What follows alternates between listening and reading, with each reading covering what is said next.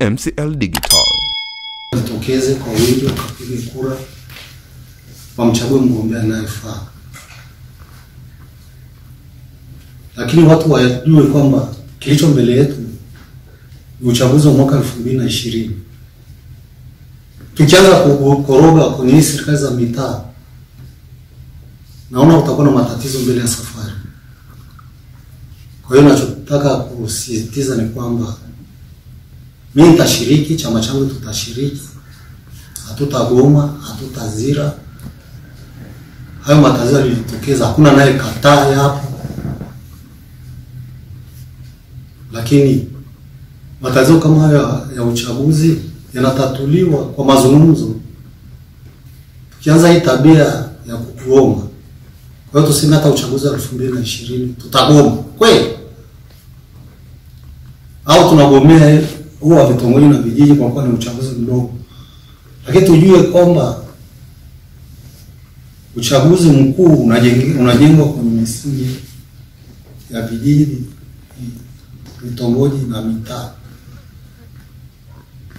Kwa hiyo ni maoni yangu kwamba mimi sitazira, kwa sababu nikizira telipile lengo letu la mwaka elfu mbili na ishirini halitafikiwa, wala watu wangu wavunja watanielewa.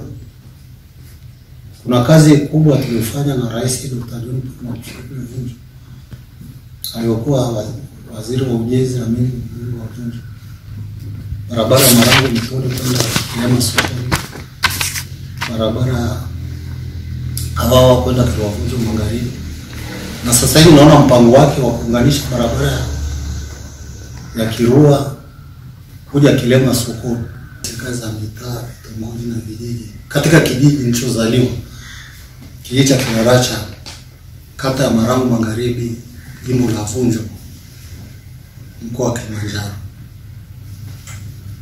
E, sisi kama TLP tumeamua tutashiriki kikamilifu katika uchaguzi huu na tutajitenga na tutahimiza watu wasusie huu uchaguzi, na ninaomba Watanzania wanielewe, sisi mwaka huu mwezi wa tano chama cha Tanzania Labour pale, tulikwisha kaa halmashauri kuu ya taifa ya chama chetu na kuzingatia kwamba katika uchaguzi ujao elfu mbili na ishirini rais wetu awe nani. Chama tukaamua kwamba kutokana na kazi kubwa, kazi nzuri nafanya Rais Dr. Hatutakuwa na haja si TLP kuweka mgombea mwingine, atakuwa mgombea wetu Rais Dr. John Magufuli. Na sasa kuna fikra kwamba na sisi tususie uchaguzi, tusishiriki. Kwanza wataona kiraracho, hata nielewa, ndio kijiji changu nikozaliwa, baba na mama, na ndio walioniwezesha kuwa mbunge wa bunge wa Moshi kwa miaka kumi. Na kwa bahati nzuri mwenyekiti wangu hakuenguliwa, anaanguliwa.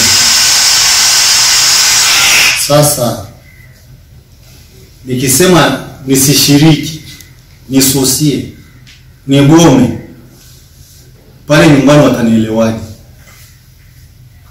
Na sababu zinazotolewa mimi sijaridhika nazo. Hayo makosa yaliyojitokeza ni makosa ya kawaida kwa binadamu. Kama kuna makosa dosari, watu mnakaa mnazungumza, mnatafuta mwafaka. Kwa mfano, kinachogombwa ni hizi fomu zilizotumika kuengua watu